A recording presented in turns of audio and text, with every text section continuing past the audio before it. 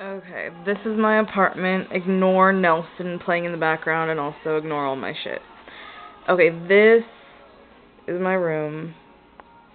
I feel like this is gonna like make everyone dizzy or something, but um my walk-in closet. It's pretty sweet. Um I don't know if any of you besides Ash have actually seen my apartment last year. And this is the exact same one, literally. I'm in 203 again in Pacific, but um yeah. Two this used to be like one whole bathroom and toilet was on that side and showers on this side and it was mirrors, but now it's two different things. Oh, carpet different too. Look at the carpet. Nice. Used to be dark green. Shower. We have a pretty sweet shower. It actually has water pressure. It's kind of amazing. Um, counter. Like, this is all brand new. Like, ooh, yay. There's nothing down there. Uh, bathroom. This is all dark and shit, but it's pretty sweet. Mirrors and whatnot. Uh, this is basically the same. We had two like little closet areas.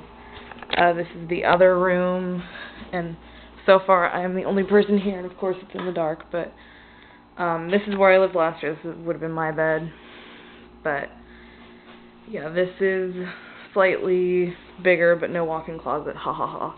Although they do have that little thing. Um, let's see. Kitchen is amazing. We got a new fridge which is over here. Our fridge used to be over there. Brand new stove and countertops. My only complaint is that they're tiny.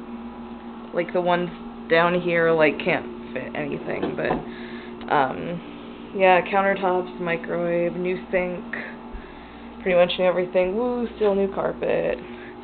Same old dark green furniture, but not the dark green carpet to match. We have like some green walls. It's pretty sweet. Nice table. Still have the balcony. Yeah, basically, brand new apartment, all at the same thing. And look! Cat and Leslie's room. Yay. Okay, bye.